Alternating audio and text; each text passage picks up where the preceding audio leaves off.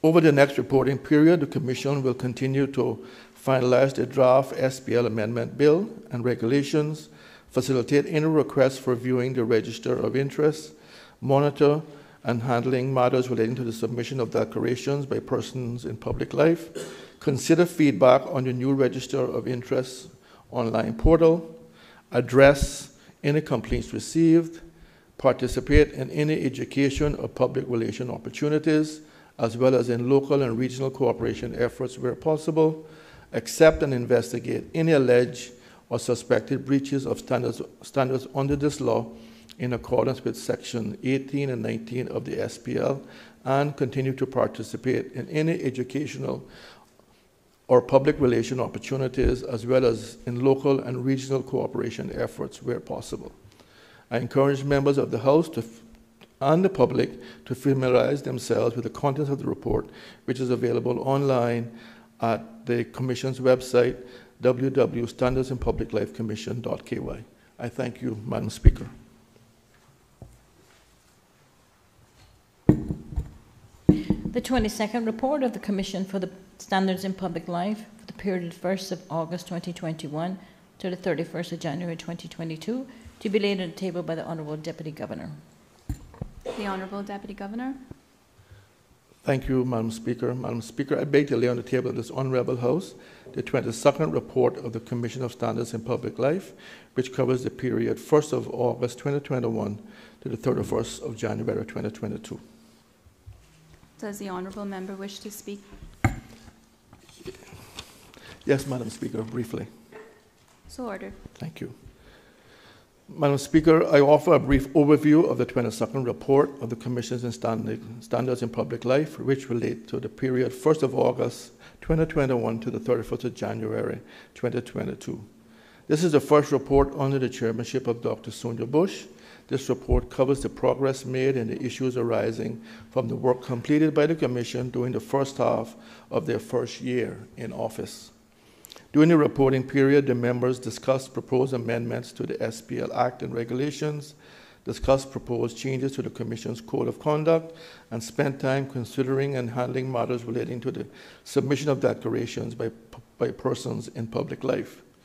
Over the next reporting period, the Commission will continue to finalize the draft SPL Amendment Bill and regulations, facilitate any requests for viewing the Register of Interest, monitor and handle matters relating to the submission of declarations by persons in public life, consider feedback on the Register of Interest online portal, address any complaints received, submit the development of a parliamentary code of conduct, and participate in education or public relation opportunities, as well as in local and regional cooperation efforts where possible. I encourage members of the House and the public to familiarize themselves with the contents of the report, which is available online on the Commission's website at www.standardsinpubliclifecommission.ky. Thank you, Madam Speaker.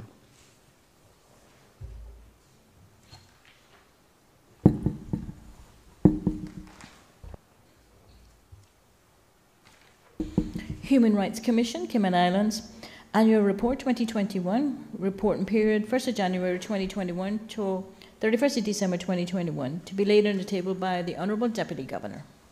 The Honourable Deputy Governor.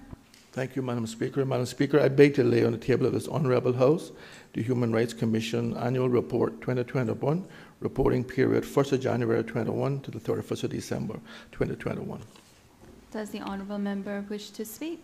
Yes, Madam Speaker, briefly. The reporting period, the Commission advocated for the implementation of a parliamentary code of conduct and issued official statements amidst the global pandemic in relation to quarantine voters and migrant complaints.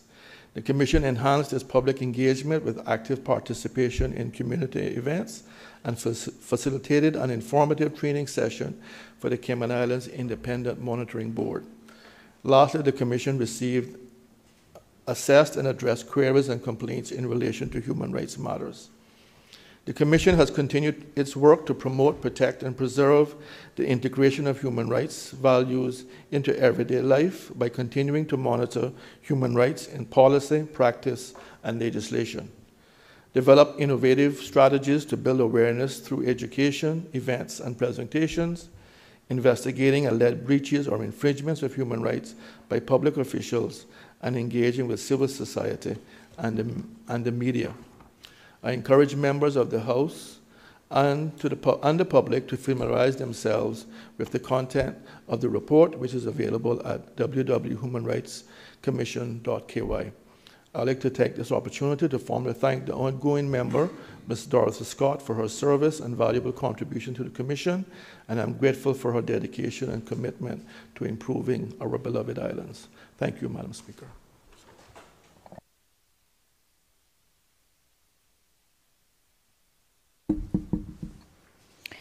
CIAA Annual Report 2017 to be laid on the table by the Honourable Minister of Tourism and Transport. The Honorable Minister of Tourism and Transport.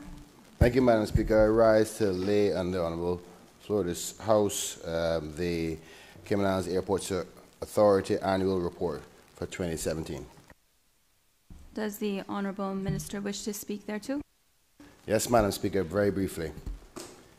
In accordance with Section 52.8 and 9 of the Public Management and Finance Act 2020 revision, I place before this Honourable House the audited financial statements of the Cayman Islands Airports Authority for the fiscal year ended the 31st of December 2017. Madam Speaker, the audited financial statements show revenue of 50.2 million for the year ended the 31st of December 2017. This represents a 19.2 million, uh, 62.3% change in revenue over the 30th of June 2016. The improved revenue intake, Madam Speaker, was driven by improved passenger throughput in the period under review, in addition to the change in the financial reporting period.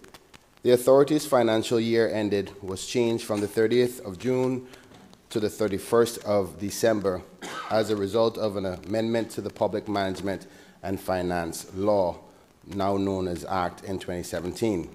Accordingly, the financial statements have been prepared for the 18-month period ended the 31st of December 2017, including the transition period. The 1st of July 2016 to the 31st of December 2016. The 12-month period ended June 30th, 2016 is therefore not comparable to the December 31st, 2017 numbers. Total expenditure for the 18-month period ended the 31st of December 2017 was 41.1 million and 18.6 million and an 18.6 million increase over the 22.5 million spent for the year ended on the 31st of June 2016, which was a 12-month period. As at the 31st of December 2017, the Cayman Islands Airports Authority had a total had had total reported assets of 192.4 million, moving from 175.1 million as of the 30, 30th of June 2016. This growth is is asset value. This growth in asset value was primarily driven by the increase in property, plant, and equipment as a result of the Owen Roberts International Airport redevelopment project. Madam Speaker, these financial statements have been audited by the Auditor, Auditor General's Office in accordance with Section 29A of the Public Management and Finance Law 2020 revision. An unqualified opinion has been issued on these financial statements. Happy to say, Madam Speaker, the Auditor General states that the financial statements present fairly in all material respects the financial position and financial performance and cash flows of the Cayman Islands Airports Authority as of the 31st of December 2017 in accordance with the International Financial Reporting Standards. Madam Speaker, I wish to advise the Honourable House that the financial report of the Cayman Islands Airports Authority were delayed due to a domino effect of delays and ensuring investigations of the 2014, along with various other personal changes with the Cayman Islands Airports Authority's financial department and the scheduling of the OAG office. I am pleased to advise that this Honourable House, uh, pleased to advise this Honourable House that the Auditor General's office is nearing completion of the 2018 audit and the 2019 audit. um, has been commenced. Madam Speaker, in closing, I'd like to thank the board and the management of the Cayman Islands Airports Authority for their efforts in producing, in producing these audited financials and the Office of the Auditor General for auditing them. I now invite all members of this Honourable House and the public to review the report in detail. Thank you, Madam Speaker.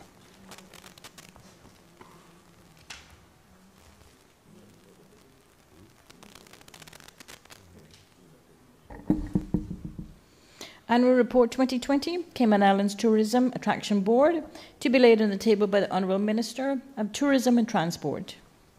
The Honorable Minister of Tourism and Transport.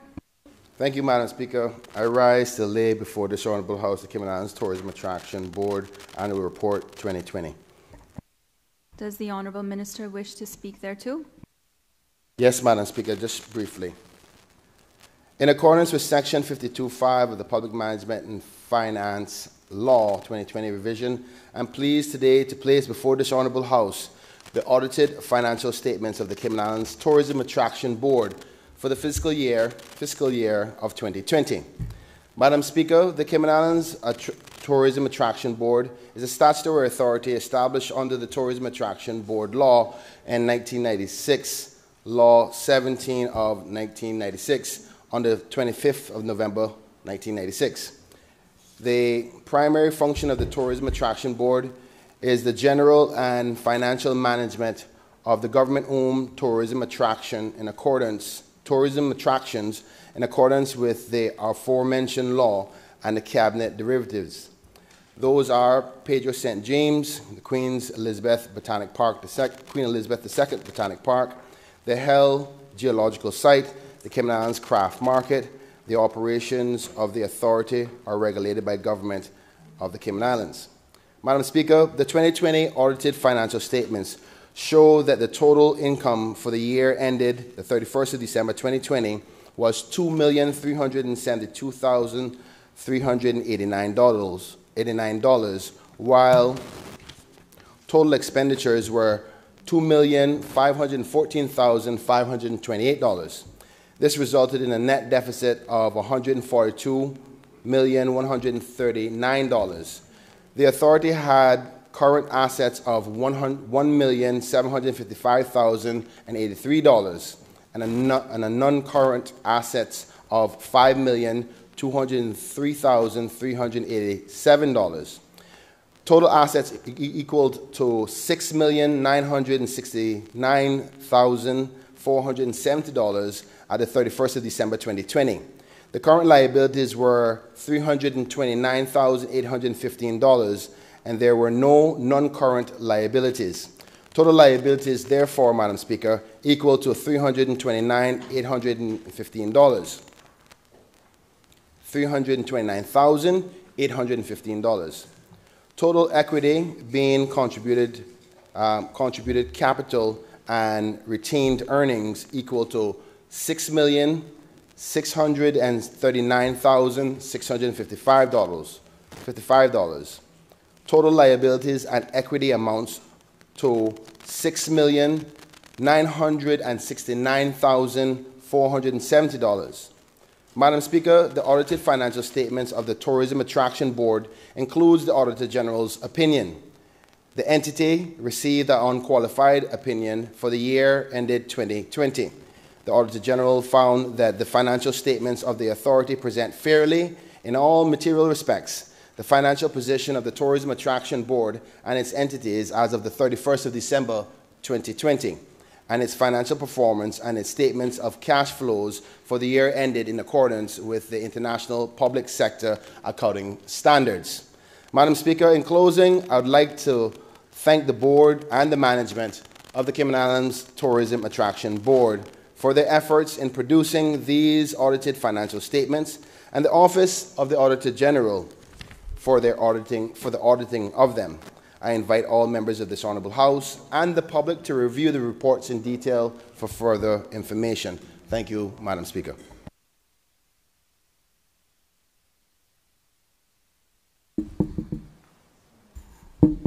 The Mental Health Commission Annual Report 2021, to be laid on the table by the Honourable Minister of Health and Wellness. The Honorable Minister of Health and Wellness. Madam Speaker, I um, rise to place to lay on the table of this honorable House the Mental Health Commission Annual Report 2021. Does the Honorable Minister wish to speak there too? Yes, Madam Speaker. Madam Speaker, in accordance with Section 8 of the Mental Health Commission Law 2013, I am pleased today to table in this Honourable House the annual report for the Mental Health Commission for the calendar year 2021. Madam Speaker, the Mental Health Commission was established back in January of 2014 under the Mental Health Commission Law 2013. Its members consist are Dr. Mark Lockhart, who is the chair, Cline Glidden Jr., Deputy Chair, Honorable Alex Henderson, QC, Deputy Chair, Sutton Burke, Member, Nurse Dimpa Carton, Member, Fiona McDougall, Member, Cheryl Miles, Member, Jackie Neal, Member, Dr. Inoka Richens, Member, Janet Flynn, Secretary, Ministries Liaison. Now, the members of the Mental Health Commissions are stakeholders from various sectors representing legal, healthcare practitioners with training in mental health, and advocates, also laypersons. Madam Speaker, the function of the Mental Health Commissions are divided into three sections. Quasi judicial to hear and determine appeals under various sections of the law and conduct reviews where a patient has detained, has been detained and released under an emergency detention order three or more times in 30 days. Recommendations to the Health Practice, Health Practice Commission and councils.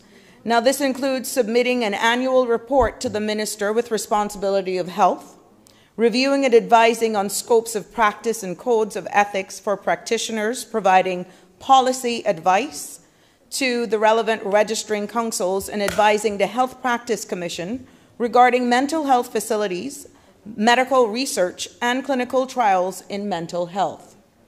Other general functions, Madam Speaker, includes obtaining and compiling statistics on mental health, oversee and deliver mental health training for constables, prison officers, and other persons expected to deal with mental health patients in the performance of their functions approve of list of overseas mental health facilities, research and establish protocols and guidelines for mental health advocacy and approve persons to act as advocates. Establish and maintain a program which provides information to the general public concerning mental health illness and coordinating, um, coordinating disorders and related conditions.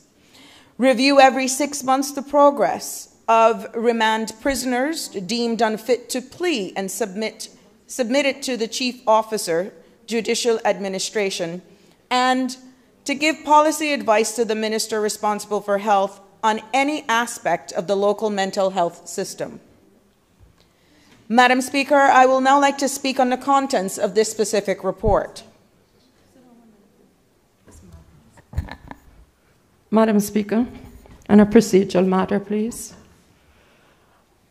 May I get an explanation as who the stranger in the chamber is? Because under conventions, a camera should not be arbitrarily taking pictures of members. Certainly, I'm not in agreement with it. I, is he a member of GIS? Thank you. Um, I do apologize. I failed to make an announcement earlier this morning to uh, advise members that I have granted permission to the gentleman who is employed by GIS just for today and tomorrow to take some photographs on behalf of the government as they are rolling out a new communications plan um, to enhance the engagement with the public in relation to our parliament. Madam Speaker, with the greatest respect, I take your apology and I accept your explanation. But one ought to remember that this is the people's house. There's a government and an opposition, and a camera person is not allowed to arbitrarily have their camera roaming around the place. Otherwise, we'll end up with what we had on two occasions before an unsanctimonious photo of a member of parliament whilst not speaking in the picture circulating on social media. That's the reason the rules are there.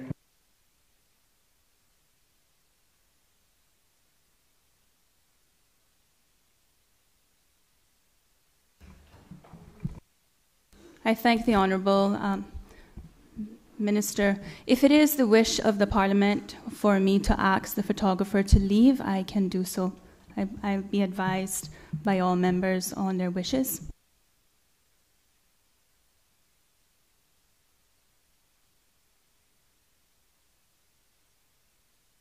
Can I ask what is the purpose of the, the photos? Thank you, um, Honourable Member for West Bay West. The purpose of the photos are being used for government informational services. They are rolling out a communication plan, um, particularly in relation to the proceedings of Parliament. And I think today was the first commencement. I do apologize, I failed to announce it earlier.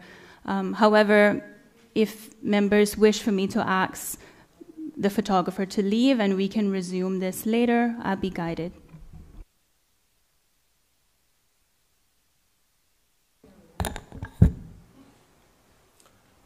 Honorable Premier. Madam Speaker, um, I was generally aware of the proposal uh, for GIS um, to be involved with a different approach in terms of communication of the activities of Parliament for the benefit of the people of the country. Um, obviously, I wasn't aware of all the specific details of it, but um, clearly you have given um, permission for, for the photographer to be here. Um, I equally do not wish to stand in the way of, of um, members generally if there's, a, if there's a, a level of discomfort.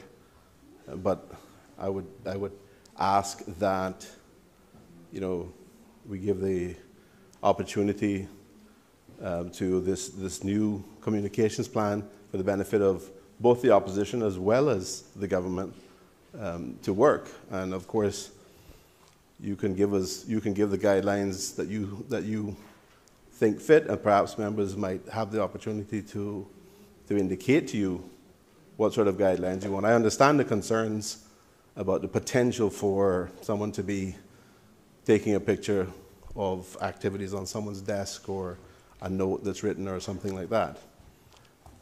But I think the attempt is, is laudable in the sense that it is an attempt to communicate more fully to the people of the country for the betterment of the people of the country exactly what the activities of, of Parliament are, and so they're fully aware and better informed. I think we all would welcome the opportunity for that to happen because there's often a complaint that there's not enough communication from the members of the public. But of course, we do have concerns, and I'm not sh- quite sure at this point how to resolve that, other than um, perhaps asking more senior members with, with um, longer, level, longer service to express their views. Honourable Minister of Tourism and Transport. Thank you, Madam Speaker. Uh, I just rise to add a little bit of input to the current matter at hand, not from the well experienced perspective, because this is only my second term, but from a media perspective. Uh, you, as the Honourable Speaker, have outlined that this is a government agency, a contracted worker on their behalf. Therefore, the government agency will be responsible for the content of those pictures, as well as to the distribution of which pictures would be the most appropriate. I think we should have enough confidence within our own government information services that those files will be kept in and in a protective manner, and whatever ones are distributed will be distributed in a very um, um, digested way. Um, Madam Speaker, I do agree that we should be doing better with our media exposure so people can see that we are working hard in this honorable house. And I, as member uh, of this government, do not um, uh, would want to deny the gentleman from as a Caymanian for getting this job opportunity for these two days. He's a, a, a, a business owner of his own, contracted by GIS. I laud them for using Caymanians to do this job.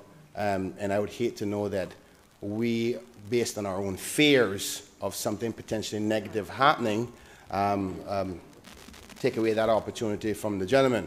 I, I, again, I say, once this is contracted by the Cayman government information services. We should feel comforted that those pictures that are taken are within the government's remit, and therefore any picture of a person, hypothetically speaking, getting caught in a yawn or, or rubbing their eye or something like that wouldn't get out on social media. So I think it, it should, be, should be allowed. That's my humble input, Madam Speaker.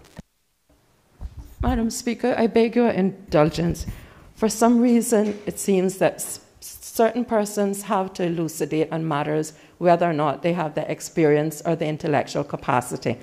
That is not the case this morning. I rise purely on a procedural matter. Has nothing to do whether he's Caymanian, has absolutely nothing to do whether he's working with GIS. In fact, had he had on the required badge that is required by the rules there, the question would not have to been asked. He would have been properly briefed that when you're in Parliament, despite the fact that some people don't seem to recognize the importance and significance of a parliamentary democracy, you have to wear the badge, and he should have been briefed that you only take pictures of a member when he or she is standing on the feet. This is not a Hollywood hall. This is not a PR stunt. It's the seat of democracy, and there are rules and conventions for different reasons. I have absolutely no lack of confidence in GIS and their capability to take photographs and do it the right way. But this is a House of Parliament, and as much as we would like to think so, it's not a House of Government. There's a government and there's an opposition, and it has to be seen. Perception becomes actuality. And for the past several months, what has obtained in this House is a erosion greater than what obtains at West Bay Beach when it comes to parliamentary sanctity and democracy. And I wish I did not have to stand to say it, but somebody has to say it. I thank the member for her sound words. Um, we all can appreciate her experience here.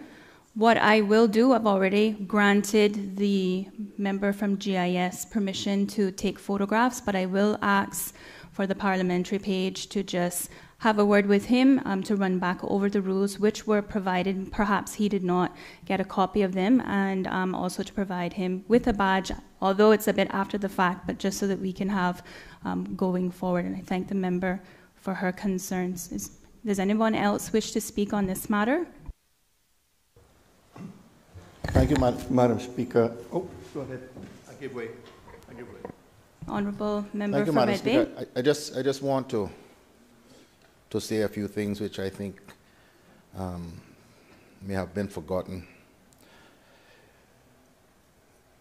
As the Honorable Minister who spoke, uh, Minister for Education who spoke, said, Parliament is not an agency of the Cayman Islands government. We battle, some of us in here, the member from, from West Bay West, the minister who spoke herself, some of us other members, for years to give this parliament by legislation the autonomy which the principles of Westminster government properly require. This parliament is now run by a parliamentary management commission. Decisions which involve matters such as this are decisions which properly ought to be taken by the Parliament Management Commission, which is made up of members of both sides of the House. The member for Education is absolutely right.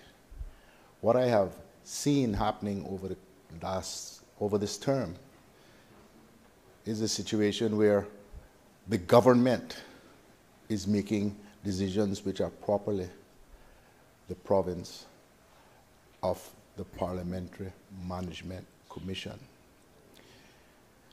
So I don't want to get into to this. I had no idea what was transpiring.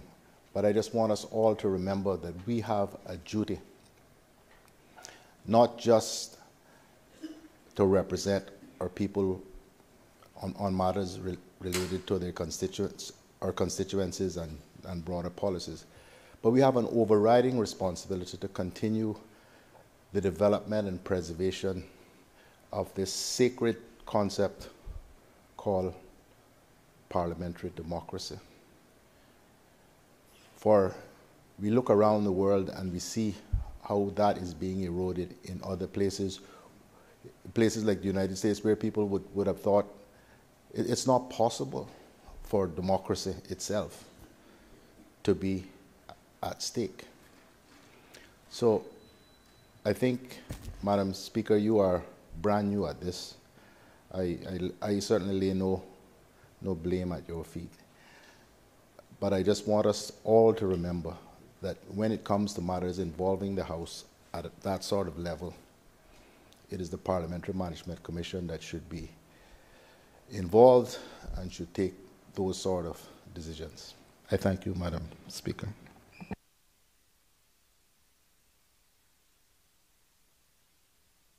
Thank you, Honourable Member. Does the Honourable Leader of the Opposition still wish to speak? No, thank you, ma'am.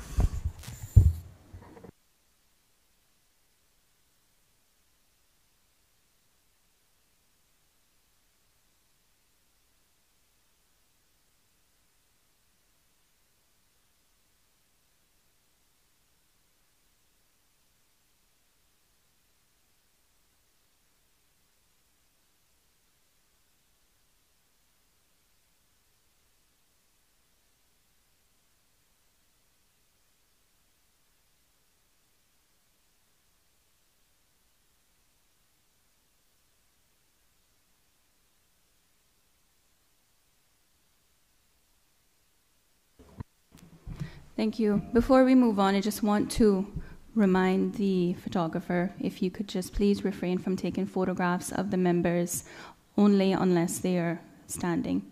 And then we will have a conversation when we break for lunch.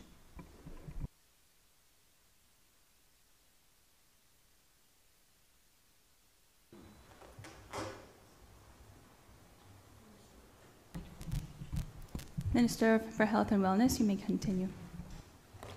Thank you, Madam Speaker. I continue. Long-term mental, long-term residential mental health facility.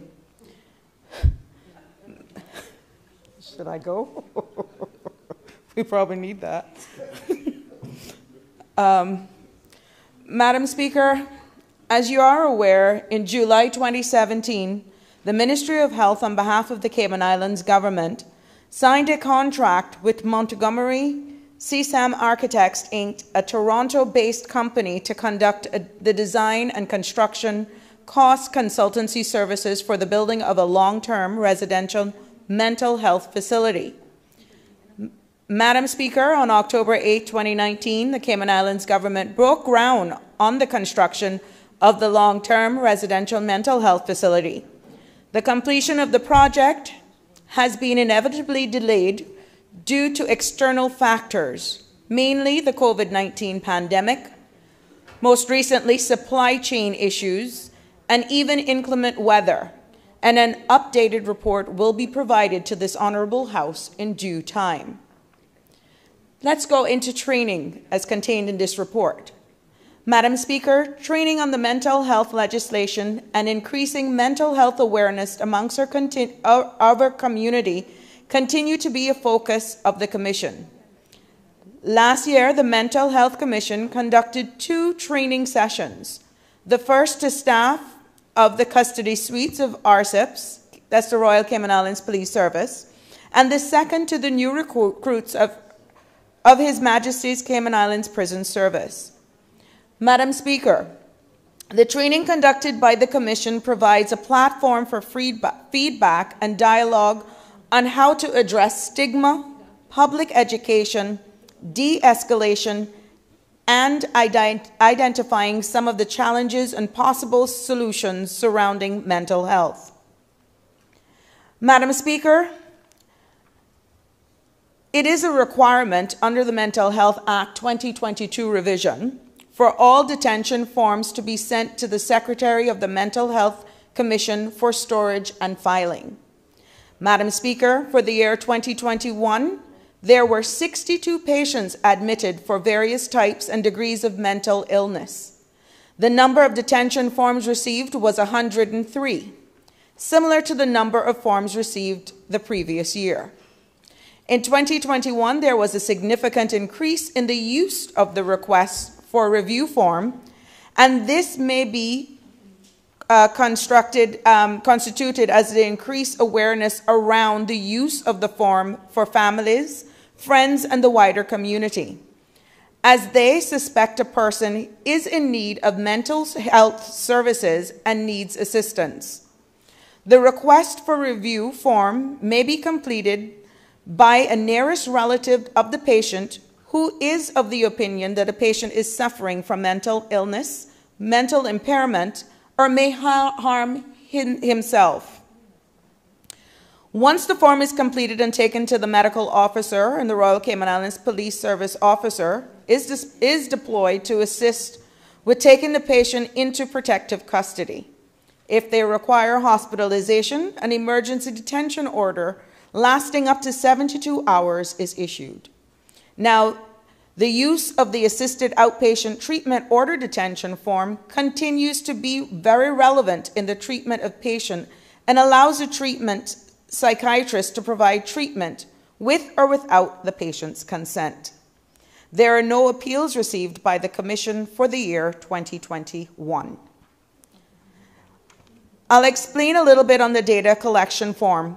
Madam Speaker, as required under the Mental Health Commission law, one of the functions of the Commission is to obtain and compile statistics on mental illness in order to report on the needs of the island's mental health system.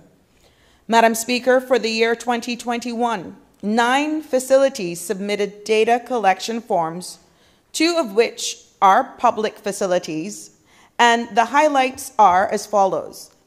90% of the nine facilities have responded or received health insurance for mental illness. However, what is unknown is whether the coverage is adequate for the treatment provided.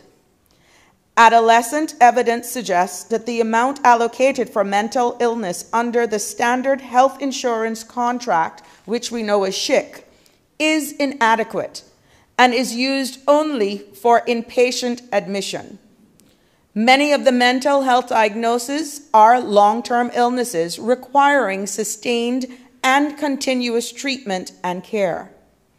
Under the Health Insurance Regulations 2017 revision, the inpatient benefit for mental health is CI 25,000 per lifetime. There is a continuous upward trend of increase in the number of persons who seek treatment for mental illness. This is a positive step which may suggest that the stigma associated with a mental illness is decreasing.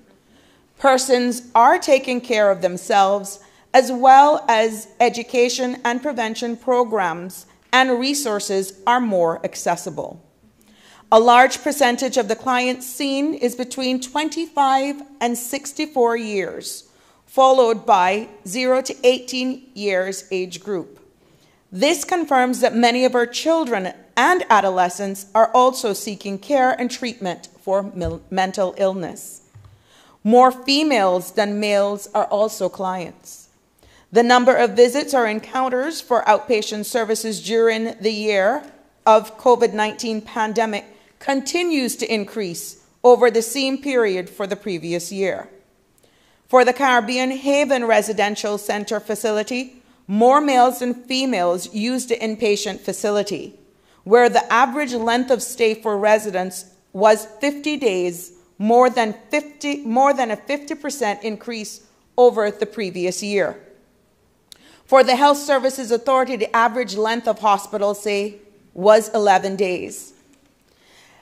Um, employ, the employee category of counselor therapist makes up a large number of the mental health employees employed by the facilities, followed by psychologists. Also included in offering treatments and care for mental health services are registered behavioral technicians, applied behavior analysts as well. These professions provide added value to the scope of care available to the islands. Now, the top three diagnoses were grouped under anxiety, depression, and others, where were included as attention deficit, deficit hyperactive disorder, autism, autism spectrum disorder, to name a few. Madam Speaker, the information will continue to be collected quarterly and the findings reported to the Cayman Islands House of Parliament annually.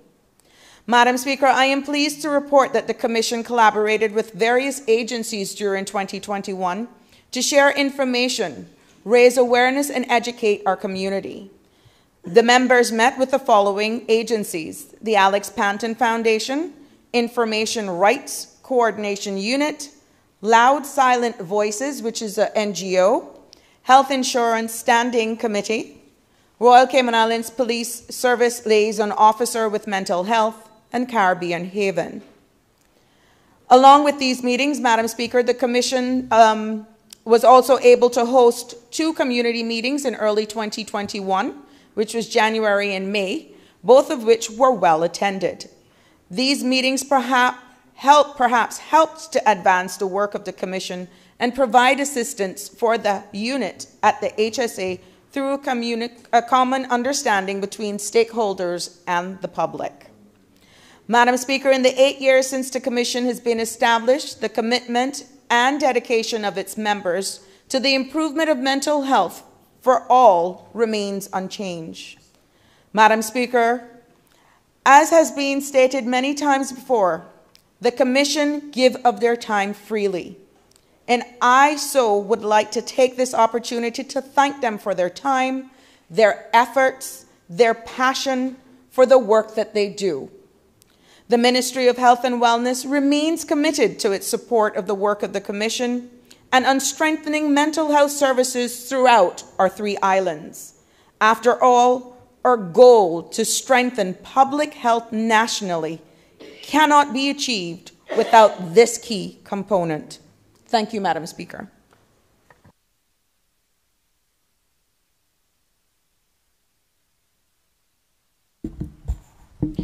The National Gallery of the Cayman Islands Annual Report and Accounts, 31st December 2021, to be laid on the table by the Honourable Minister of Health, Sports, Culture and Heritage.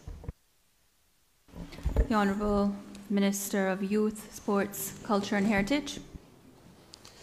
Madam Speaker, I beg to lay on the table of this Honourable House the annual report and accounts 31st December 2021 for the National Gallery of the Cayman Islands. Does the Honourable Minister wish to speak? It's self explanatory.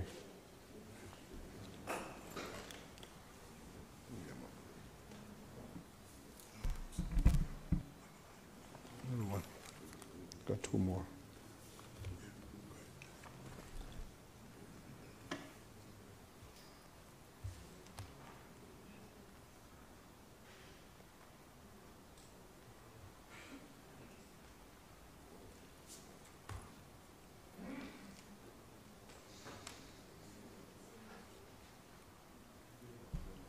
Does the Honourable Member wish to speak?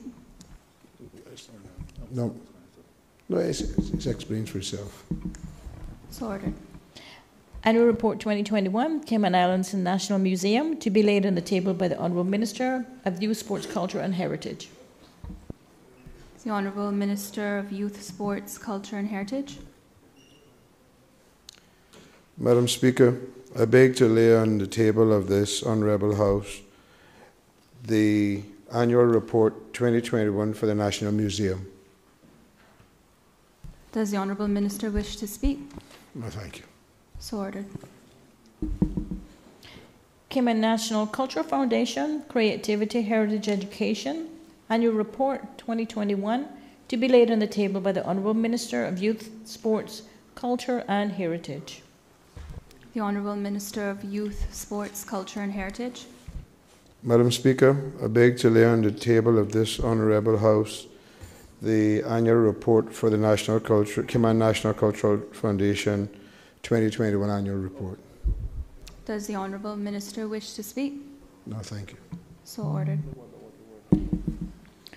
Office of the Ombudsman, Annual Report 2021, to be laid on the table by the Chairman of the Select Committee to oversee the performance of the Office of the Ombudsman. The Honourable Minister of Youth, Sports, Culture and Heritage. Madam Speaker, I beg to lay on the table of this Honourable House the Office of the Ombudsman uh, Annual Report 2021. Does the Honourable Minister wish to speak? Just to say that the committee is very pleased to see where the ombuds, the new ombudsman is trying her very best with a shortage of staff uh, to try to take this office to the level that it should be at and to say, con- wish them the best of luck in their endeavors. Thank you. Freedom of Information 2021 Annual Statistics Report to be laid on the table by the Chairman of the Select Committee to oversee the performance of the Office of the Ombudsman. The Honourable Minister of Youth, Sports, Culture and Heritage. Madam Speaker, I beg to lay on the table of this Honourable House the Freedom of Information 2021 Annual Statistics Report. Does the Honourable Minister wish to speak? No, thank you. So ordered. Office of the Auditor General Cayman Islands, follow up on past PAC recommendations 2022 to be laid on the table by the Chairman of the Standing Public Accounts Committee. Report of the Standing Public Accounts Committee on the report of the Office of the Auditor General. Follow up on past PAC recommendations 2022 report to be laid on the table by the Chairman of the Standing Public Accounts Committee. The Honourable Leader of the Opposition.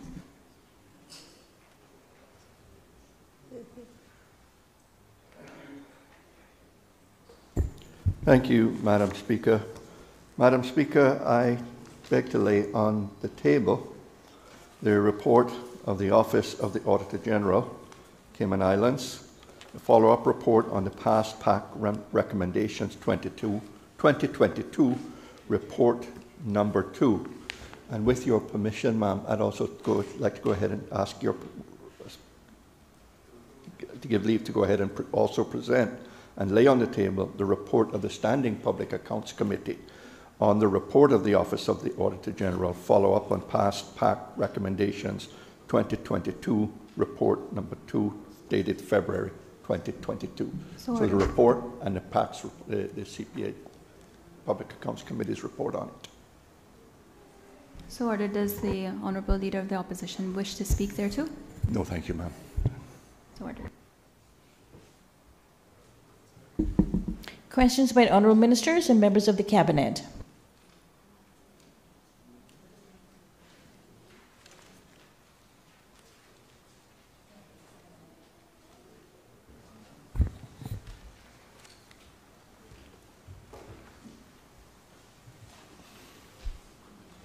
The Honourable Premier. Madam Speaker, um, just rising to move the suspension of um, standard orders 11, 7, and 8 to allow the, sorry, 23, 7, and 8 to allow the um, asking of questions after the hour of 11.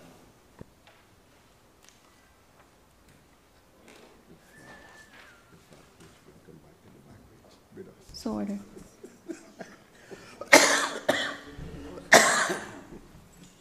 Is that we move to questions after the hour of 11. All those in favor, please say aye. Let the standing orders be suspended. All those in favor, please say aye. aye. Those against, no. The ayes have it.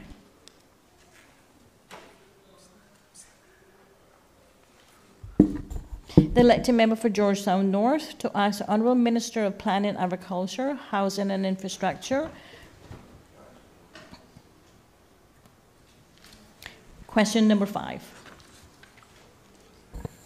The Honourable Leader of the Opposition. Thank you, Madam Speaker. Madam Speaker, I know that uh, the member is not physically present in, in his seat at this point in time. May I ask, with your indulgence, that we allow the next question to be asked, and I'll seek to find him and, and make sure he, oh, he is present. Thank you.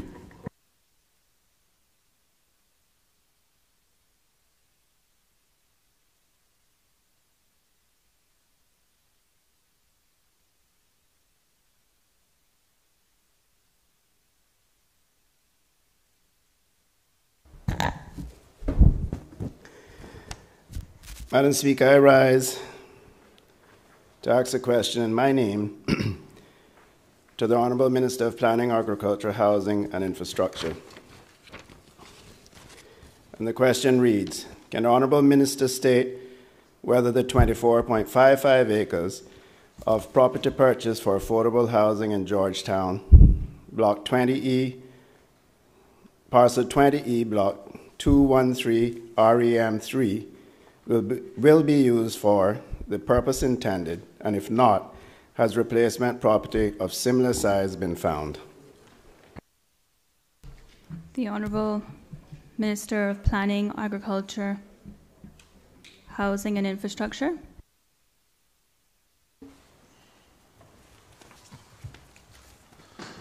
Madam Speaker, the 24-acre property purchase is located off of Halifax Road from Linford Pierson Highway. Madam Speaker, as many may have um, heard, the government recognized that the land previously identified for housing in Georgetown is also a key part of the drainage and the ecosystem of the area. As such, Madam Speaker, the government and the NHDT will have to reevaluate the site to determine the best option Therefore, it is difficult to determine exactly how this site would be developed. However, I assure this Honourable House that we recognize the importance of the housing in the Georgetown area and will keep the House abreast of the development. In, additional, in addition, Madam Speaker, we are actively looking for additional property or lands that could be utilized to provide good value for money.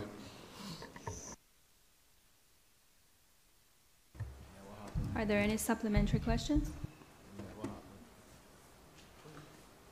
Thank you, Madam Speaker. Madam Speaker, if I could ask the Minister to state whether or not the affordable or reasonable property is that being identified for the district or in the district of Georgetown and not outside of Georgetown?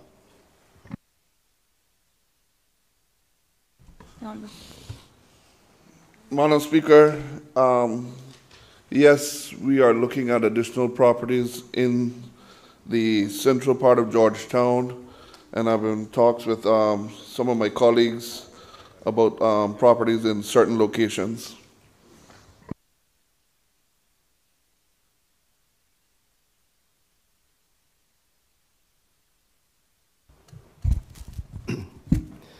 Madam Speaker, I thank the Minister for that answer. Um, I heard him say Central Georgetown. Uh, was that just a term, or you were actually looking at, as we call Central Georgetown, in the Central District? Madam Speaker, um, that was just a term reference. I'm, I'm from the north, so I just, when I said town, I mean, I look at the overall picture of Central. My apologies if he misunderstood me.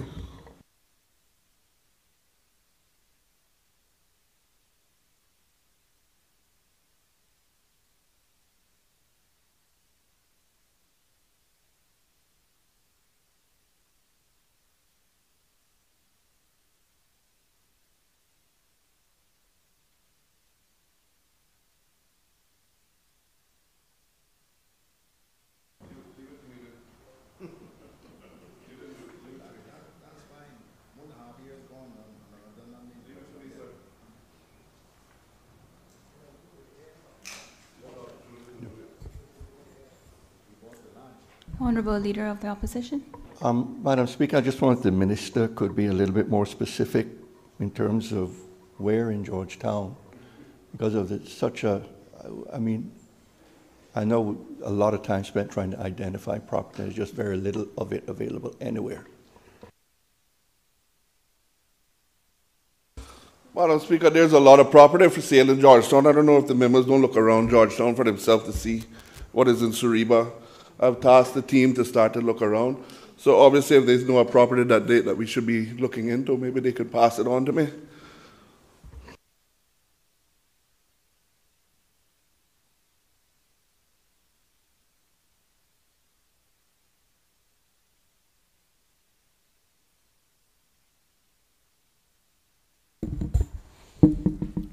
The elected member for Georgetown South to ask the Honourable Minister of Education, question number six.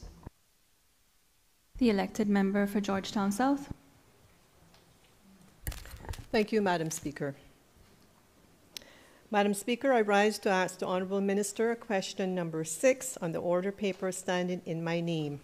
The question Can the Honourable Minister provide an update on the expected completion of the John Gray High School and advise whether it will be operate, operational by January 2023?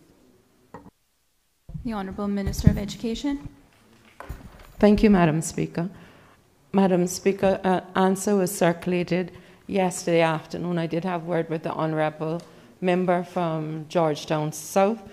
The corrected answer is now in my hand, and I would hope is in the possession of the House. I seek your leave to read the corrected answer, and for the sake of clarity, at the time of circulation yesterday, the answer was correct. This morning, um, two of the fire doors that came are wrong because of that. Safety comes first, so it has caused us to reflect the correct answer as we have no intention at any material stage to mislead honourable members of the House to answer. John Gray High School Project A, representing a new school building, is expected to be operational by quarter one of 2023. Are there any supplementary questions? Just a supplementary question um, to the Minister. Um, is there a time frame in terms of the arrival of the fire doors? Honourable Minister of Education.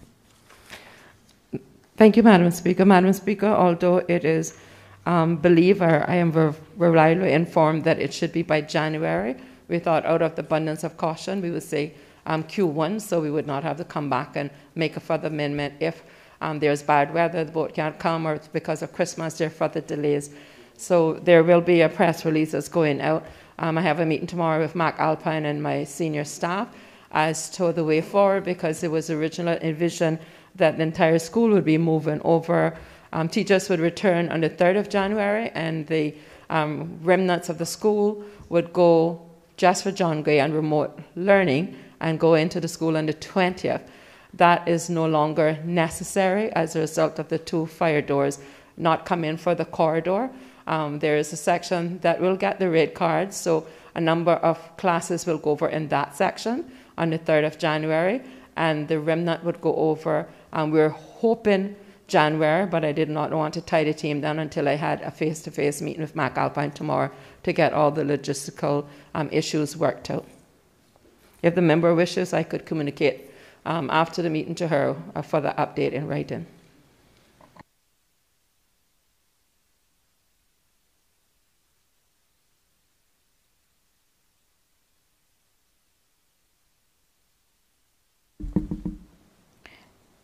The elected member for Red Bay to ask the Honourable Minister of Health, Wellness and Home Affairs. Question number seven. The elected member for Red Bay.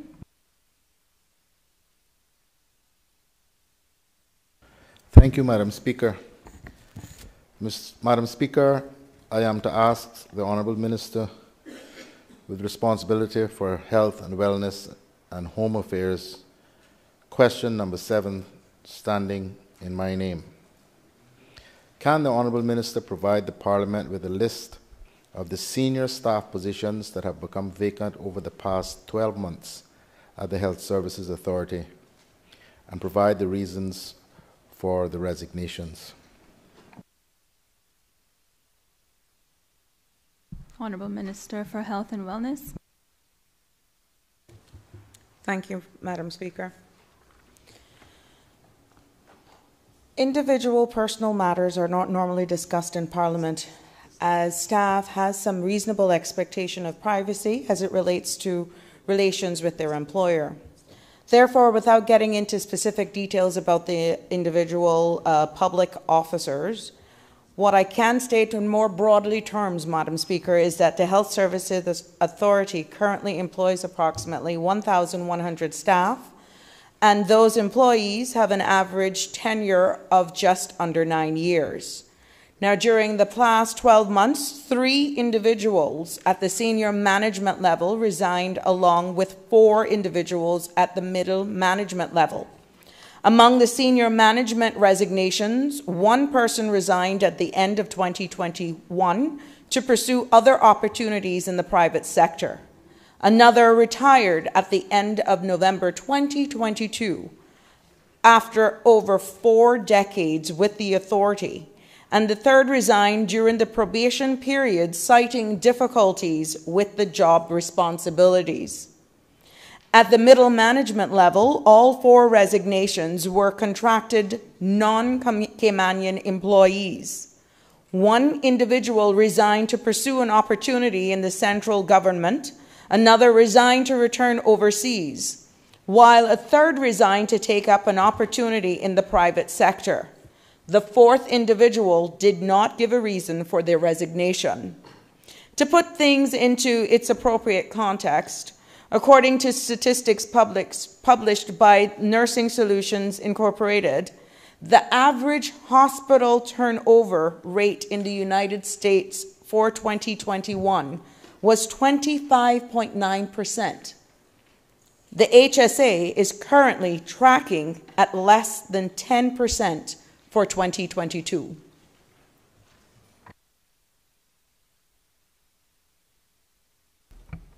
The Honourable Member for Red Bay. Thank you, Madam Speaker, and my thanks to the Minister for the comprehensive response. Madam Speaker, the final paragraph of the answer speaks to an attrition rate of less than 10% for 2022. But what I am interested in knowing is what percentage of the senior management team and the middle management team have resigned during this period, not the overall staff complement.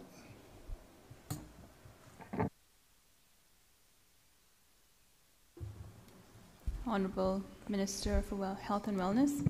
Madam Speaker, um, I thank the supplementary question, but the actual statistics of middle management and senior management staff, um, those actual stats I'd be more than willing to get and provide to this Honourable House at a more appropriate time.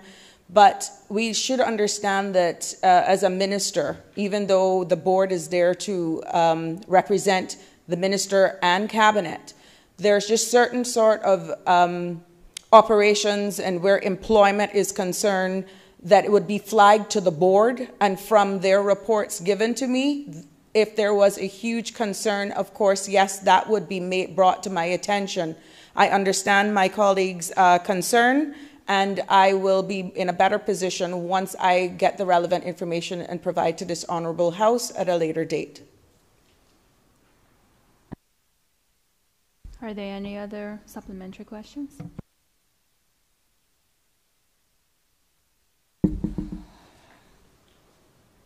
Statements by honourable ministers and members of the cabinet.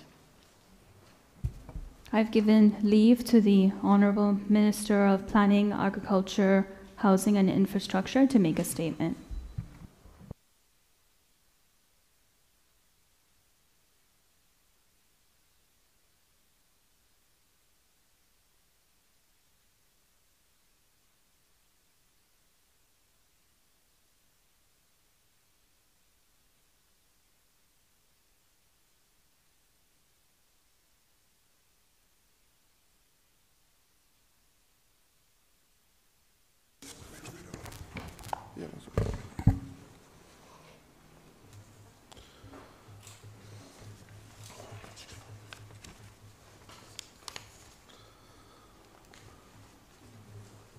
Madam Speaker, honorable members, it is with a grateful heart that I stand again in this honorable house to provide another update to the Caymanian people on projects taking place in the department under the Ministry of Planning, Agriculture, Housing and Infrastructure. While I not intend to be an exhausted list, but please permit me, Madam Speaker, to list some of those areas in which we have made great progress. Number one, increasing investment in awareness of our technical and vocational training programs. Number two, increasing the number of parks and civic centers and multi-purpose halls within the communities. Creating a new and expand existing industries such as agriculture, provision of affordable housing. Five, development and implement a national stormwater management plan.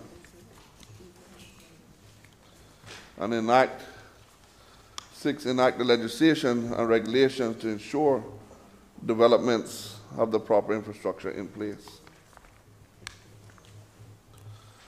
Madam Speaker, let me start with one of the outcomes that is very close to me. Expanding the agriculture sector so well as improve the well-being of our people. We have found ourselves in a period of renewed interest in agriculture as consumers and producers, both locally and globally, become increasingly aware of. The challenges of the world food production due to factors such as climate change and ongoing war in Europe, the importance of food security and benefits in personal health, economic and communities and countries consuming fresh, wholesome, and local, locally produced food. Madam Speaker, the Ministry Department of Agriculture have been addressing the issues of local food security with a multi-pronged approach. We do not want to react to impacts, but be carefully planned to advance in the event of a range, especially of natural disasters and world events. In light of the, minister, light of this, Madam Speaker, my ministry has been working to finalize the draft Cayman Islands Food Nutrition Security Policy, which was commissioned as far back as 2015. The draft policy, which was prepared by the ministry with the assistance of the Caribbean Agriculture Research and Development Institute, is a holistic approach in making Cayman Islands food and nutrition secure country. The government's goal through this frameworks are to increase the adequate supplies of affordable, safe, and nutritious food items to ensure their availability to meet national requirements at all times. Increase the access to Caymanians and visitors to sufficient, wholesome, affordable food, especially to the children and the elderly. Protect the public by providing quality and safety assurance of food supplies, whether locally produced or imported. Enhance nutrition interventions with the broader public health framework. Madam Speaker, the ministry held close to 10 public consultation meetings across all three islands to inform the public about the draft policy to get their input on the plans. I just want to thank each member of parliament who attended the session they held in their constituencies. This shows your interest in the issues that not only affects you and your constituency, but your future generation in Cayman, in Caymanians. Our next step include further ministerial reviews and submission of cabinet and policy approvals and then implementation. Madam Speaker, the ministry team is grateful to the multi-sector steering committee, which include individuals from the private and public sector, as well as the academic, or who have given their time for, ex- for their, um, their expertise to move this draft policy forward. Madam Speaker, we have a plan and a plan that will be implemented under the watch of this administration. Since my last presentation in the House, Madam Speaker, the Ministry of Department of Agriculture have been implementing a number of projects to ensure the adequate and, and accessibility to local food for years to come. Some of these initiatives include our national egg strategy.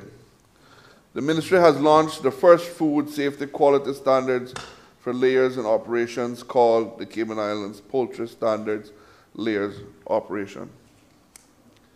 Madam Speaker, our aim is to certify that all egg producers across our islands, with the help of, of the poultry experts who have been recruited to guide our farmers, the plan is to improve local egg safety and quality assurance, which will ultimately increase the consumer's confidence in the community or the commodity.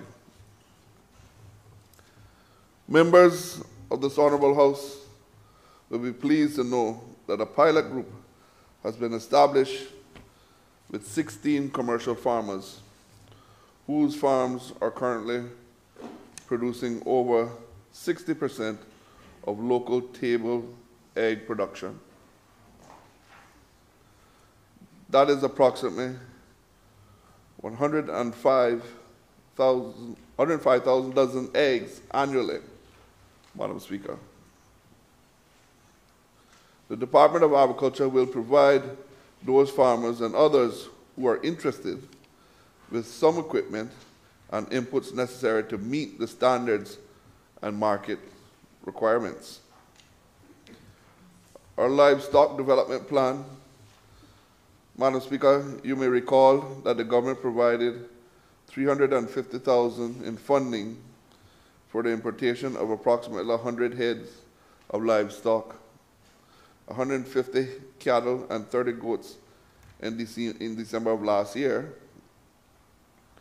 Members of the House will be pleased to know that in January of 2023, the Cayman Islands Agriculture Society will land the final batch of cattle under that agreement.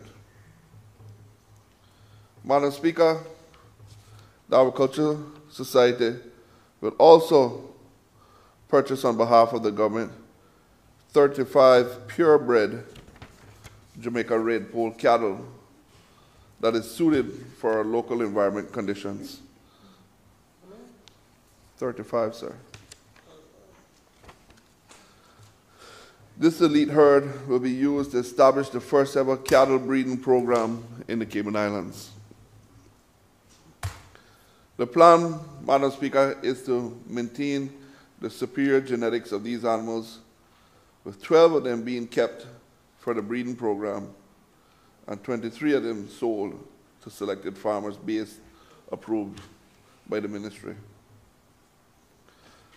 Madam Speaker, aligned with our implementation of the cattle breeding program has been the training of Caymanians for veterinarian service division in artificial insemination, embryo transplant technology, and the practice.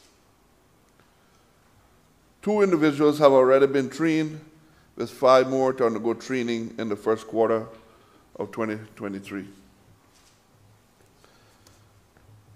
With the continued training of our local people, Madam Speaker, we will have the expertise needed to increase the success rate of artificial insemination on island.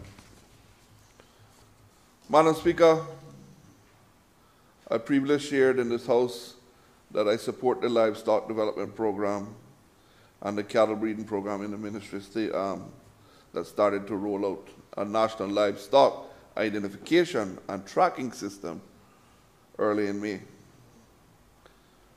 This system tracks livestock, including information the identity, ownership, the geographic location, and all information collected is, is stored electronically under the control of the Department of Agriculture. Close to 300 livestock have been tagged to date with visual ear tags, have them affixed to each animal with the plans in place for an animal passport with the SEAM identification number, as that on the ear tags to be issued to the owner. Madam Speaker, the National Livestock Identification and Livestock System will bring the Cayman Islands in line with international standards in farm to consumer supply chain. That is traceability.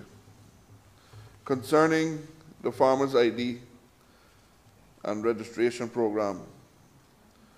Madam Speaker, on assuming my post over a year and a half ago, one of my first steps was to conduct a review of the agriculture sector to ascertain of the resources improvements needed for its modernization. Out of that review has come a new farmers identification criteria developed by the representatives from the Ministry Department of Agriculture and Agriculture Society. Madam Speaker, one of the significant changes to be made will be the move from the Farmers Identification Card Program to the Farmers Identification and Registration Program. The new Identification and Registration Program will improve how government provides benefits and incentive, incentives to the farming community. Identity and identify and register all agriculture producers to assist with creating policies. Collect, collect an agriculture production data, restrict the allocation of benefits and incentives to the farmers sector. It is important to note, Madam Speaker, that as part of the new program, there will be a shift in the name of farmer to agriculture producers. This is in keeping with the international trends in the sector. These are exciting developments, well, Madam Speaker, that are aimed at modernizing our sector and bolstering our island food and nutrition security. Our farmers are energized by the improvements that are taking place in the sector and have been sharing their feedback and suggestions with the Ministry and the Department of Agriculture. I want them to know that the park government is listening to them and is working to provide technical resources and agriculture inputs required to grow and strengthen that sector more.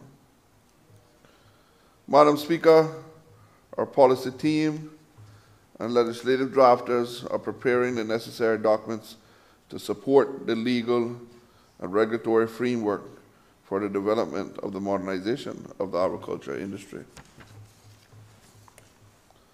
This includes the agriculture land lease policy. The ministry, with support of the Ministry of District Admin, Administration and Lands, have completed the draft policy, which aims to make large tracts of land available to farmers for the growing of agriculture, produce, and rearing of its livestock. We are currently awaiting the feedback from our internal stakeholders on the policy, and our next steps will be to make the document available to the public for consultation. In addition, Madam Speaker, both the Animals and Plant Protection Act are being revised. Instructions has also been given for the drafting of pesticide control and agriculture bill. The ministry target is to, uh, to have these bills before the Parliament by the end of the financial year of 2022-2023. Madam Speaker, to quickly touch on the 2023 Cayman Islands Agriculture Show before I move on.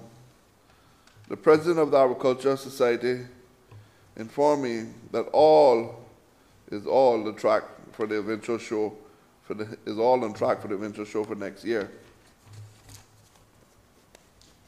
The event is scheduled for Wednesday, February the 22nd, 2023, at the Agriculture Grounds and will be held under the theme Agriculture for the Future. We anticipate that it will attract some 10,000 attendees. I've extended invitations to my counterparts in Barbados, Jamaica, and other Caribbean to attend this event. The Agriculture Society and the Ministry will share more details on the upcoming event in this coming week. Turning to another area of major priority for me and this government, the provision of quality affordable housing solution for the Caymanians. Madam Speaker, our government also has a plan for affordable housing and is committed to providing support to the National Housing Development Trust to increase the number of houses across the districts.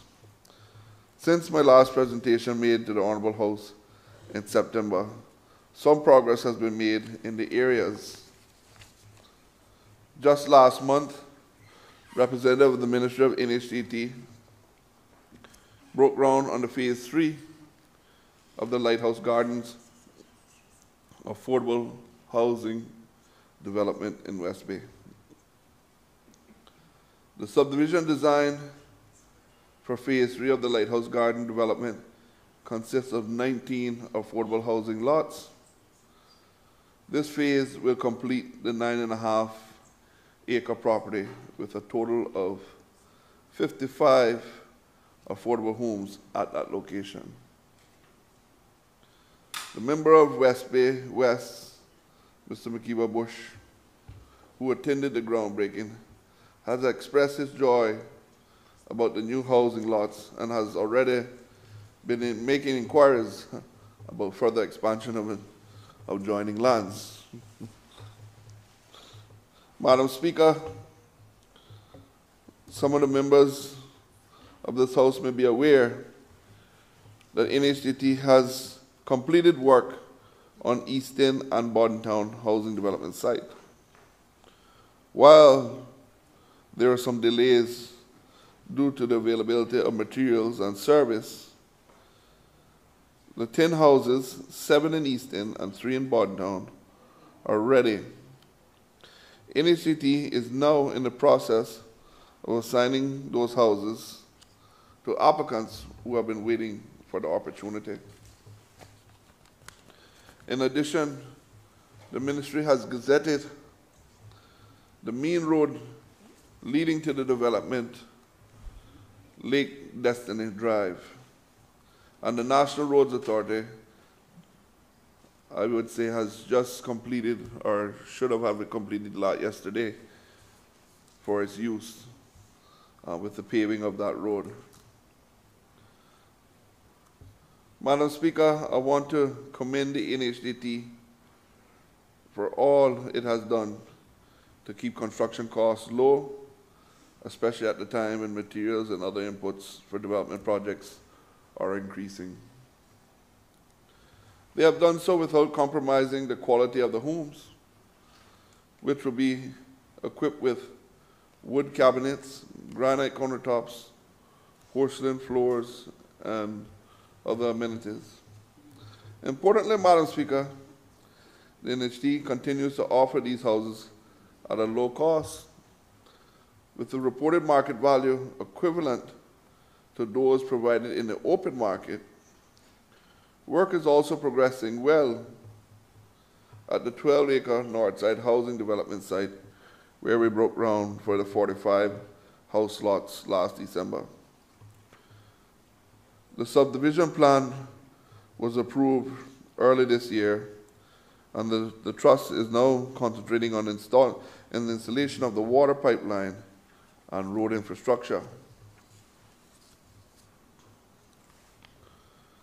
While the NHD board continues to concentrate its efforts in building on vacant land in the housing sites on the east and north side and east end and in West Bay, it had also been tasked to replicate those efforts in Georgetown by acquiring land for new development. Madam Speaker, aligned with our goals to make home ownership more accessible, I am pleased to report that NHD Board approved the interest rate adjustment to match the prime lending rate for 17 existing tenants in the, in the lease to own program. This interest rate adjustment will also be applied retroactively. This is a measure that will significantly assist the 17 tenants at East End, Windsor Park, and the West Bay Lighthouse Garden location. The changes mean that the tenant's existing commitment will be reset to a repayment position similar to a mortgage repayment arrangement with the local banks. In addition, their arrears will be adjusted accordingly. It is expected that the interest rate and the react, um, retroactive adjustment will encourage these persons to take the bold step of paying off their loans, own, owing and owning their own homes in some cases, addressing their, um, their rears that they're in. All of these tenants who receive the benefits of the interest rate and react, uh, retroactive adjustment are over the age of 55 years. In keeping with the government's policy to strengthen the support of older persons, a decision was also taken to waive their closing fees, including the administrative fees and evaluation. Madam Speaker, we are doing this because we want to alleviate the burden on our senior citizens who have worked hard and made a contribution to this country. They deserve to live in dignity and not under the consent of worrying of high fees and high costs of living. Madam Speaker, I have made this call on a number of occasions, but I believe it is worth repeating. It is important that we move away from the association or associating of affordable housing, the usual negative, bad word that we always have with people, in, um, pointing and saying that those are the poor people homes. Madam Speaker, that is so far from the truth. In countries like Singapore, for example, public housing are the preferred housing choice for the majority of population. Why should it be any different for the Cayman, Cayman Islands?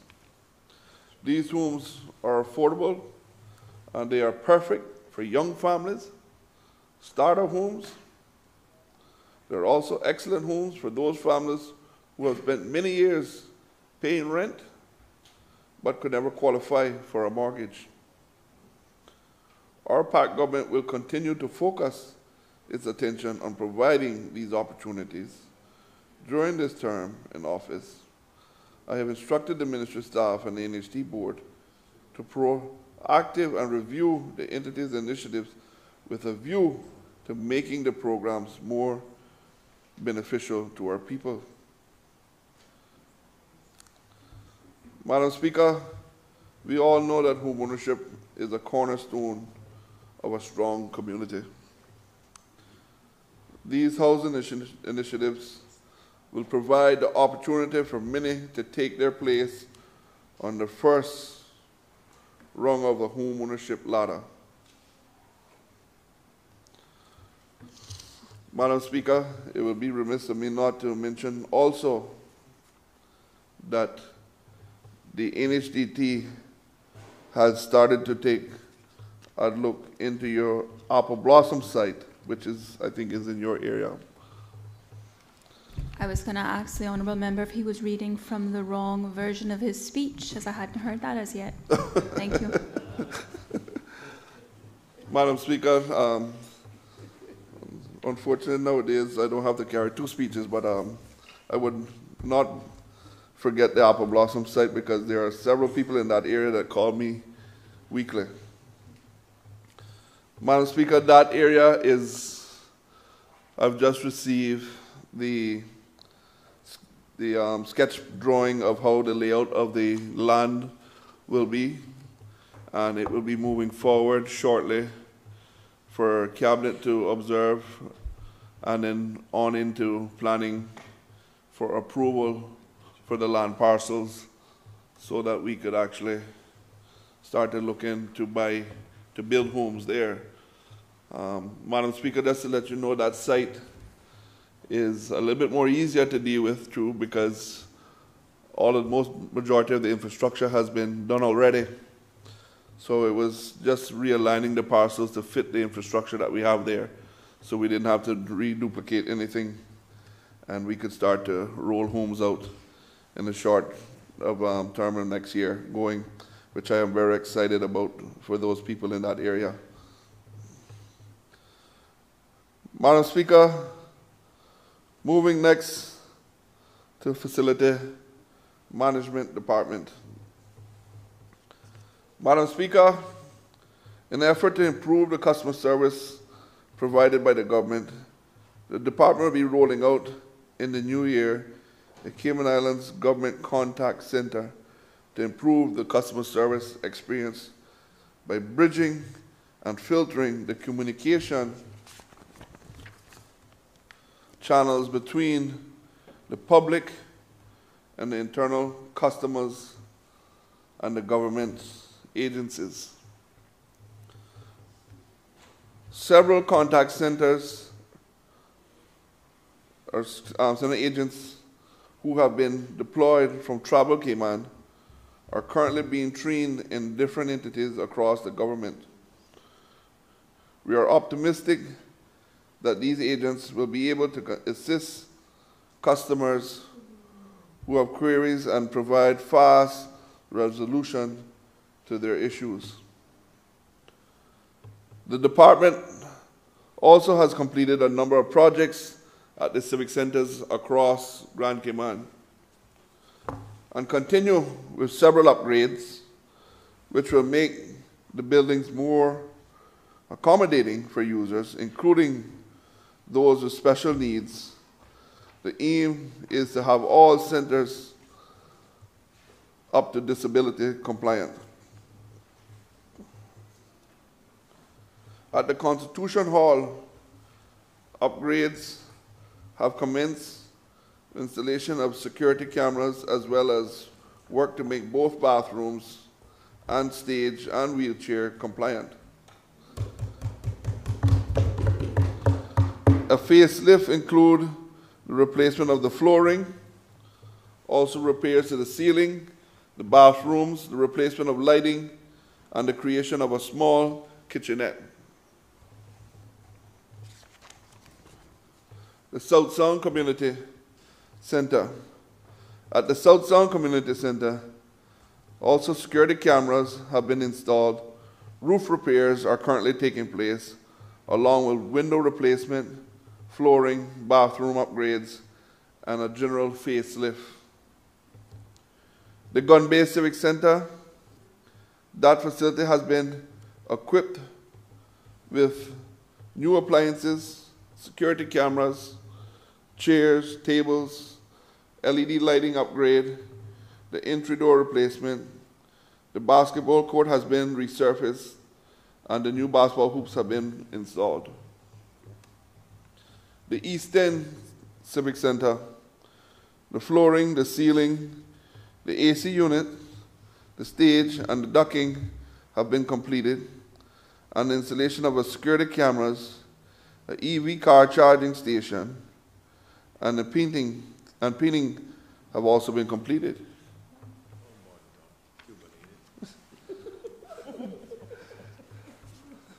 Work continues on the bathroom renovation and roof repairs are about to commence for the Eastern Civic Center.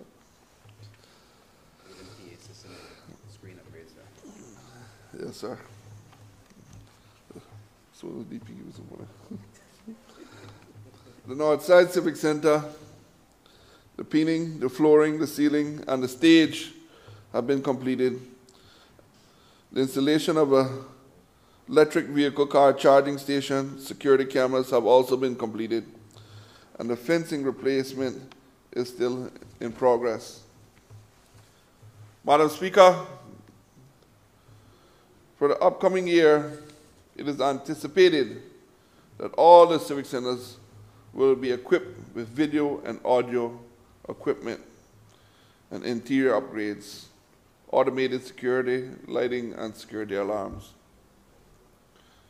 When all of these works are completed, Madam Speaker, these centers will provide a space where Caymanians of all ages can gather to enrich their bodies and minds, as well as foster the feelings of a community and a civic of pride. I am pleased to report, Madam Speaker, that the Facility Management Department is working alongside the Ministry of Youth, Sports and Culture and Heritage to introduce some of our Caymanian history and heritage at the civic centers. This will include information and photos, visual art about Caymanian men and women who have contributed to the nation's building and development of our island.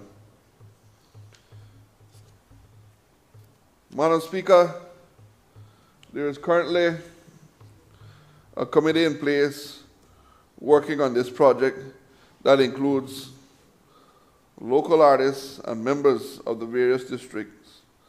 The project is expecting to get off the ground early next year, and I've been informed that the plan will be rolled out at the Gun Bay, East End, and Northside Civic Center. The department has also been a primary contributor of a national energy policy. I recently installed a 100 kW carport mounted solar array at the government administration building, which will be commissioned this week. In addition, they have installed several charging stations at the civic centers and the government administration buildings and the Cayman Islands Environmental Center with plans to install more. Moving next to another department that provides internal service to government is the Department of Vehicle and Equipment Services.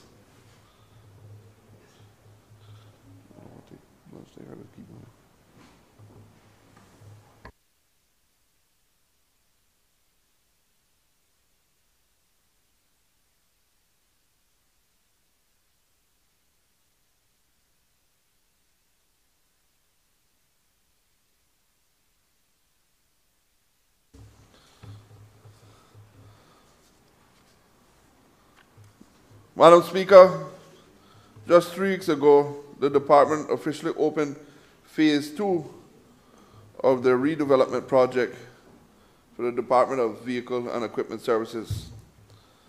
This project, which started under the previous administration, has been a major priority of this government.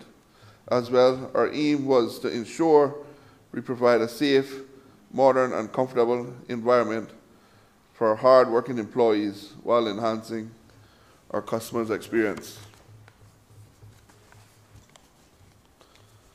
With the completion of phase two of DVS, customers will now be able to benefit from the state-of-the-art 19th Service Bay facility, which provides the required configuration to service the vast range of vehicles and equipment owned by government. As member, members may be aware, as a result of the Phase 1 redevelopment, the team has been able to integrate employees, stores, and management fleet services in the two-story administration building. The total floor space of the entire department is over 42,000 square feet. Madam Speaker, we are very pleased that this new garage facility will lead to more improvements in DVS services, including a better turnabout, turnaround, repair times, and increasing the work stability for larger vehicles.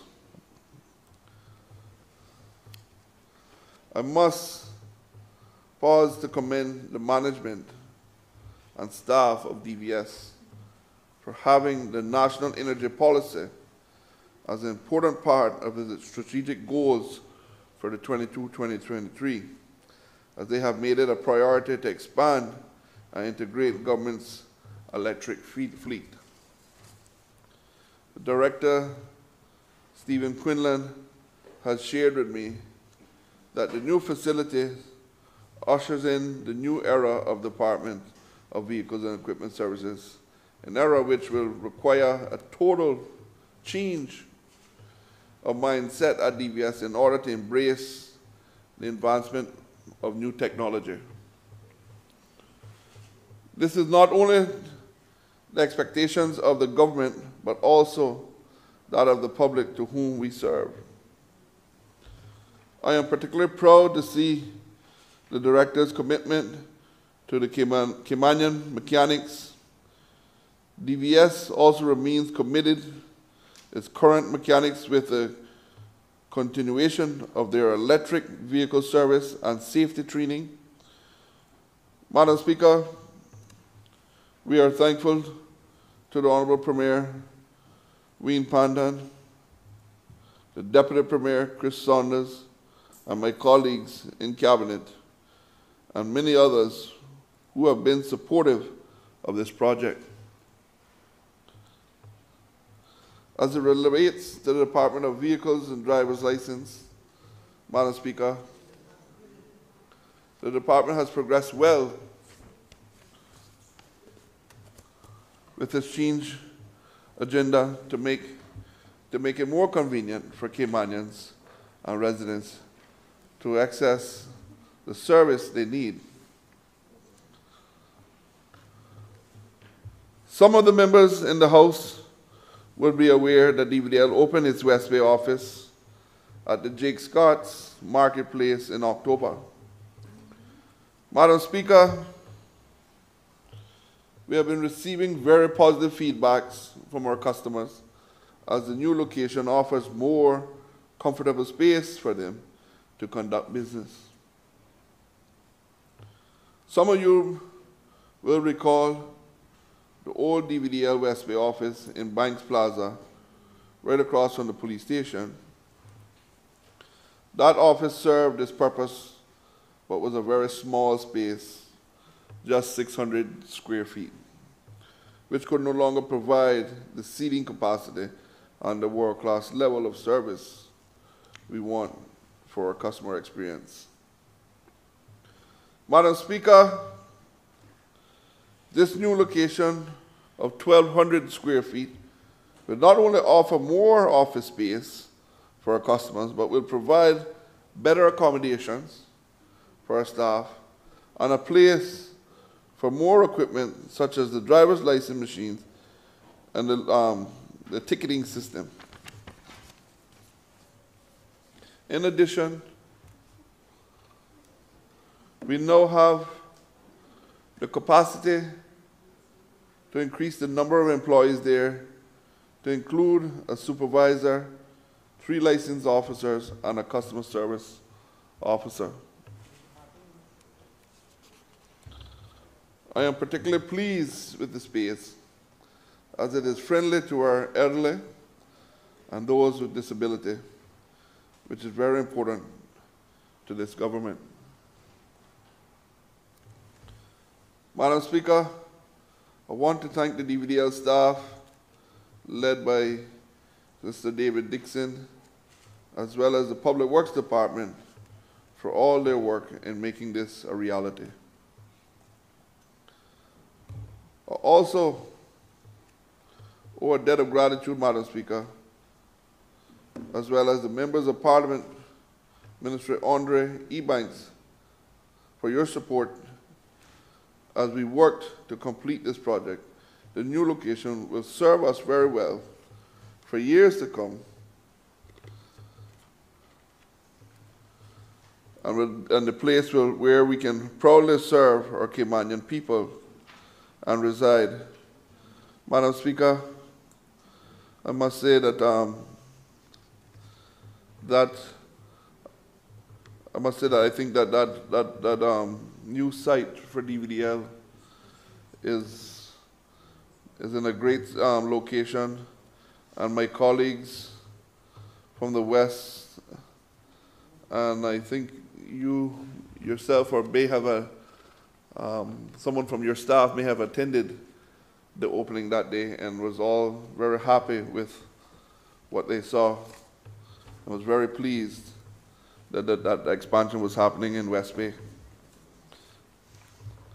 Over the past year and a half, Madam Speaker, we have seen positive levels of transformation that has been taking place at the department. Since the start of this year, of the 14,241 customers that attended the West Bay office, 97% of those customers stated they were very happy with the customer service provided. We are very pleased with the customer feedback, Madam Speaker.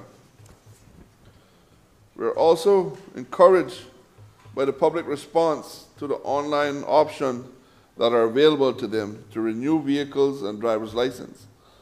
For example, in 2017, 48 persons used the online system, generating 6,000 in revenue.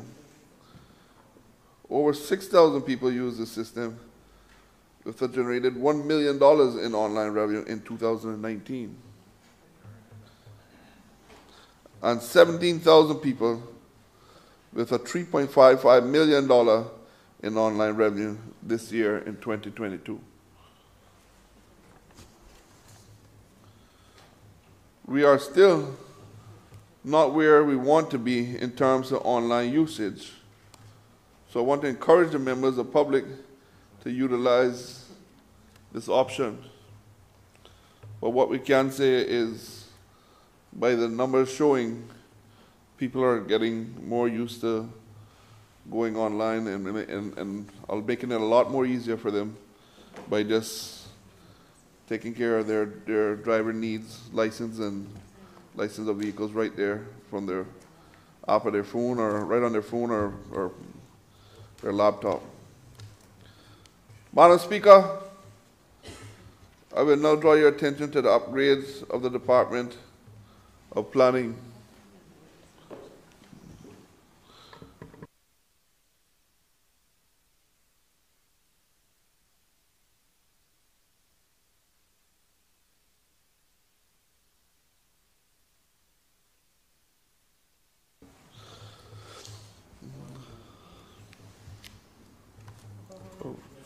minutes.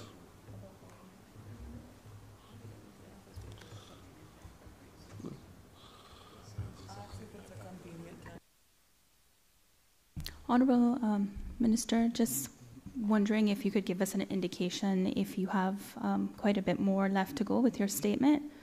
Um, the reason why I'm asking is because the copy that I have received is different than what you're reading from, so I can't really follow. My apologies on that, ma'am. If, um, I can give you a copy of this after if you want to take a quick break. Not a quick or- break, or we're just wondering if we want to finish your statement. and- Um, I have about maybe 35 to 40 minutes, I would say. Honorable Leader of the Opposition? Yes, Madam Speaker, um, may the opposition have a copy of that speech, as- that statement as well? We don't have anything to follow or I will, yes, I will ask for all members to receive the updated copy. Madam Speaker, is this a convenient time for us to take a break then? A lunch break? Yes, um, we've now reached the hour of 12:30. The House will suspend for lunch, and we will return in an hour at 1:30.